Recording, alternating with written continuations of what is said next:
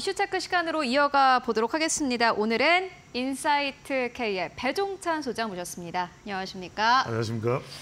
네, 이렇게 또 더운 날 네. 함께하게 됐습니다. 오늘은 또 이제 한국의 수출주에 대해서 함께 이야기 나눠볼 텐데 원래 한국이라고 하면 이제 김치가 떠올라야 되는데 음. 요즘에는 수출이 잘 되는 거 가장 첫 번째가 HBM 그렇죠. 반도체가 이제 우리나라 특산품이 돼버렸고요. 그러면 고대이품 메모리. 어, 네. 그리고 또 이제 보니까는 뭐 음식료 안에서도 불닭볶음면 음. 이런 게 아주 수출이 잘 된다고 하는데 어떻게 보고 계신가요? 제가 뭐 이제 많은 분들 아시겠습니다만 저도 어, 주식을 연구하고 이런 건 상당히 오래됐어요. 네. 워낙 이제 제가 뭐 시사 쪽이나 이런 쪽에 또 어, 분석을 하다 보니까 네. 이제 어, 많은 분들이 모르시는 분들도 계시는데 어, 하여튼 지하철 5선 분석법을 제가 자주 네. 차용을 합니다. 매매법, 근데 이제 네. 요즘에는 공항철도 분석법을 해야 될 것 같아요. 어, 왜 그런지 하면은 외국 분들이 정말 뭐 물밀듯이 어, 물밀듯이 들어오고 있어요. 네. 그래서 오늘도 공항철도를 이용해서 오늘 이제 우리 이데일리 어, 방송에 있는 어, 서대문역까지 도착을 했는데 네. 꽉 찼어요. 어, 꽉 차서 어, 이 각각 여행용 캐리어를 가방을 든 분들이 홍대 입구역에서도 내리고 음, 또 공덕역에서도 내리고 또 서울역에서 내려서 또 이제 지방으로 또 인근으로 네. 가시는 명동으로 가시는 분들 계신데 그만큼 이 어, 한국적인 것, 한국에 대한 관심이 다시 이제 또 어, 코로나 엔데믹 이후에 이 번지고 있다. 음, 이걸 우리가 좀 확인할 필요가 있을 것 같습니다. 그래서 화장품도 그렇고 우리가 전통적인 이 내수주 네. 또 경기 방어주에 머물렀던 것이 오히려 수출이 되면서 음, 아 이것이 수출 기회주가 되고 있다. 이런 제가 용어를 한번 만들어 봤어요. 네. 게다가 이제 요즘에 뭐 고금리, 고물가, 고환율 다들 뭐 어, 삼고 시대 또 고유가까지도 얼마 전까지 네. 그러다 보니까 다들 어렵다 이렇게 이야기를 하고 있는데 오히려 이런 어, 환율 이- 환율 고환율 속에서 오히려 수출되고 있는 이 어, 식음료 음. 그리고 화장품은 오히려 또 반사이익을 얻어가요. 네. 왜냐하면 수출은 그러다 보니까 환율이 높으니까 더 잘 되죠. 음, 또 수출 대금은 달러로 또 가지고 들어오니까 음. 더 수익이 늘어나는 그런 상황인데 어, CJ 제일제당도 그렇고 우리가 빅파이브라고 하는 또 삼양식품이나 네. 오뚜기나 또 농심 네. 또 오리온까지 음, 오리온 그러면은 뭐 너무 옛날 이야기 아니야? 뭐 지금 북한의 어, 러시아 푸틴 대통령이 방북을 해서 오늘 하루 9시간 머무른다고 합니다만 네. 한때 우리가 러시아에 가면은 그 추운 날씨 지금 우린 너무 덥죠. 추운 날 속에서 이 등그러니 신라면과 함께 초코파이 입에 쫙 넣으면 끝나잖아. 아, 그죠? 맛있겠네요. 그러니까 그게 이제는 전 세계화가 됐다. 음. 이렇게 보시면 될 것 같고 화장품 업종도 이따가 또 이제 조금 더 구체적으로 말씀드리겠습니다만 한때는 중국의 저가 화장품들이 워낙 또 온갖 걸 다 모방하잖아요. 그러니까 우리 아파나 아모레퍼시픽이죠. 그다음에 생건이나 음, LG 생활건강이나 다 상당히 좀 타격도 받았어요. 맞아요. 그것도 뭐 이제 뭐 코스메틱도 있고 많은 화장품 회사가 있습니다만 클리오도 있고 클리오도 있고 그러니까 이런 화장품 회사들이 뭐 OEM도 있고 ODM도 있는데 이런 회사들이 상당히 타격을 입었다가 이제는 차별화 돼요. 음, 그래도 써보니까 made in Korea야. 음, 중국산이랑 달라. 음, 들어간 재료가 다르고 또 이 구성이 다르고 다 달라. 이렇게 이제 또 더군다나 이제 특히 미국도 그렇지만 아프리카에 최근에 또 아프리카 정상회의가 있었죠.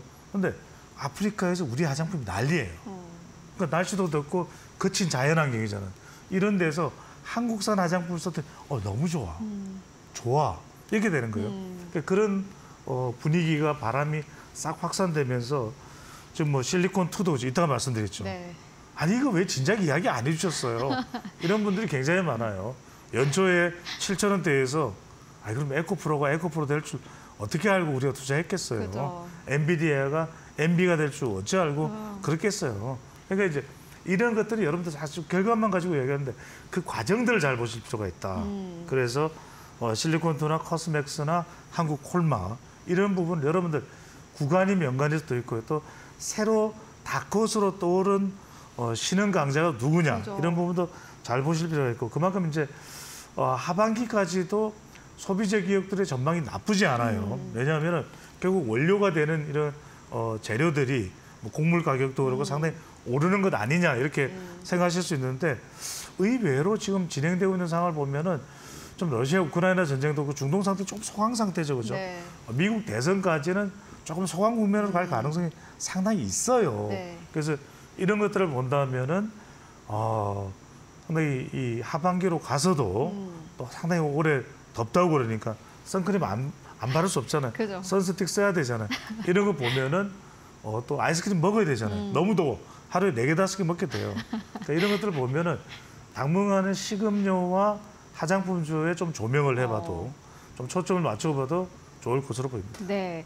최근에 이제 한국에서 미국으로 수출하는 금액이 중국을 넘어섰습니다. 그렇기 음. 때문에 미국 수출에 대한 기대감이 커지고 있는 상황인데 사실 뭐 이제 일- 미국에서도 우리 하- 미국에 와서 반도체 공장 만들어라 네. 이런 사- 와중에 또 이렇게 달러를 벌 수 있으니 그렇죠. 얼마나 좋습니까? 그럼요. 지금 뭐 냉김, 냉삼 난리가 났어요. 냉동 삼계탕. 지금 이건 여름에 도대체 몇 그릇 먹을 거야. 그렇죠. 냉김. 뉴욕의 어, 트레이더 조 이런 데 가보면 없어요. 맞아요. 다 가져가. 음. 그러니까 미국 사람들도 오징어 게임 보면서 또 기생충 영화 보면서 이제 뭐 떡볶이가 미국 음식이 됐어요. 그 정도입니다. 그러다 보니까 뭐 CJ 제일제당의 비비고 만도가 북미 지역 어. 점유율 1위를 차지했다. 네. 이런 이야기가 나오고 삼양식품에 불닭 볶음면 없어서 못 먹어요. 어. 난리가 났어. 음. 발음도 잘 안 돼. 근데 심지어는 뭐 동남아도 그렇죠, 유럽도 그렇죠. 다들 뭐 유튜브 보십시오. 불닭 볶음면, 어 맛있어요. 난리야. 네. 그러니까 이제 그런 걸 보면 지난해 역대 최고 매출. 그러니까 어. 이게 며느리가 이제 삼양식품 경영을 하기 시작하면서. 어. 아주 이렇게 그 주부의 전문적인 식견까지도 가미가 되는 거예요. 결국 이러고 식스 센스의 이 위대함을 감출 수가 없는 거예요.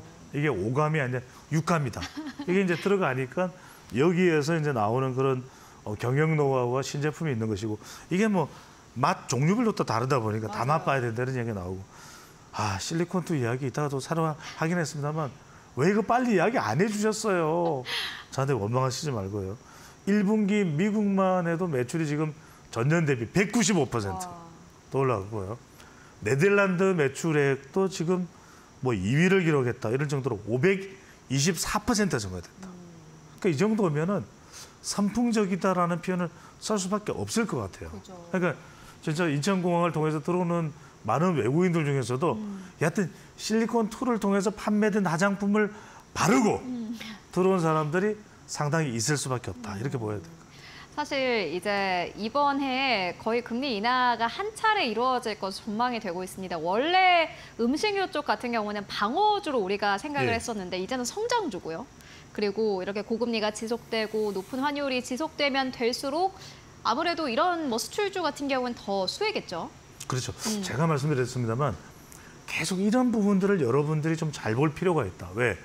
계속 뭐 변동성이 있다. 순환매 장사에서 주로 단탄 매매가 행행한다. 음. 뭐또 잘 나가는 종목도 있고요. 또 우리가 주로 초점을 맞추고 있는 게 AI 반도체나 HBM 중 당연히 잘 나갈 겁니다. 우리 시절 통해서도 내년까지 HBM은 계속 급성장을 고도성장을 할 수밖에 없어요. 젠슨 항이 불을 따름입니다. 예. 엔비디아에서 일할 걸, 엔비디아 근처에서 일할 걸, 뭐 이런 사람들도 네. 많습니다만 그럼에도 불구하고 중요한 것은 우리가 얼마든지 기존의 종목과 산업에서도 기회를 노릴 수가 있다. 우리 그러면 국내 정시 다 버리고 뭐 서학 개미 전부 서학 개미로 바꾸 탈바꿈 될 거예요. 그건 아니잖아요. 그러니까 여전히 우리 종목 중에도 견실한 것을 고르면 됩니다. 그러니까 이 어, 식음료나 또 화장품들이 주로 내수가 아니라 수출 시장을 뚫다 보면 이건 제가 여러 차례 이야기했던 부분이에요. 중국이 있기 때문에 2년 전, 3년 전 여러분들이 이데일리 TV 다시 보게 되면 배종선 소장이 그 이야기 하더라 이런 걸 확인하실 수가 있습니다. 그래서 화장품도 계속해서 다변화가 필요하다는 말씀을 드렸는데 지금 삼양식품도 불담 불닭 볶음면이라고 하는 것은 매운 맛이잖아요. 빨간 맛이잖아요. 마란 맛이잖아요. 근데 요즘 난리야. 맞아요. 그러니까 이러다 보니까 어, 고환율 덕분에 오히려 수출 대금을 끌어 어, 모을 수 있기 때문에 지금 지난해 동기 대비 1분기만 하더라도 영업이익이 235.1% 포인트가 더 올라갔다. 대단한 거죠. 자, 덥다 덥다 이거 어떡하나? 여러분들이 이럴 때 반짝반짝 해야 돼. 어? 그럼 아이스크림 잘 팔리겠네? 어느 종목이지? 아 빙그레, 롯데 웰푸드, 그다음에 크라운, 크라운 해태 홀딩스 이렇게 연결돼야 되죠. 왜냐하면 여러분들이 마트 갈 때 꼭 보셔야 됩니다. 아 아이스크림이 이번에는 거의 어, 유리 이렇게 덮개만큼 쌓여 있었는데 지금 오전에 갔다가 오후에 다시 사러 갔더니 오 상당히 또 30cm 가량 줄이네. 이건 빙그레가 잘 팔리는 거예요. 이때는 바로 여러분들이 빙그레, 그 다음에 롯데 웰푸드 이렇게 연결해야 되는 게 어. 상당히 중요합니다. 이제 이런 기업을 찾아보는 게 사실 중요해 보이는데 말씀처럼 삼양식품 같은 경우에는 그 며느리가 명동에 이제 매운 집에 이렇게 사람들이 줄을 서 있는 거 보고 그렇죠. 한국 사람들이 매운 걸 좋아하는구나 이런 걸 보고 이런 제품을 개발을 한 건데 그렇다면은 그 이외에 그만큼의 버금가는 기업들은 어떤 것들이 있을까요? 이게 여러분들 중요한 게 직관이라는 게 있습니다. 저도 어, 마케팅 리서치 회사에서 20년 가까이 일을, 일을 했지만 제 사부가 그런 이야기를 했어요. 아, 사부가 내 사부죠. 네. 어, 서성님께서 정말 마케팅을 하려면 강남역 커피숍에서 그냥 네다섯 시간을 쳐다만 보고 있어라. 그때 떠오르는 직관 이게 중요한 겁니다. 이게 식스 센스거든요. 네. 그때 그걸 여러분들이 찾아내기 필요한데 지금 식음료도 이미 우리가 다 알려져 있는 기업 말고 숨어 있는 기업이 어디냐? 저는 대상이다. 대상을 대상으로 삼아라. 네. 이게 왜냐면 지금 이게 왜 중요하냐면 대상 웰라이프가 얼마 전에 식약처와 그 다음에 대한상공회의소와 food QR 국제 표준 협약을 추진했어요.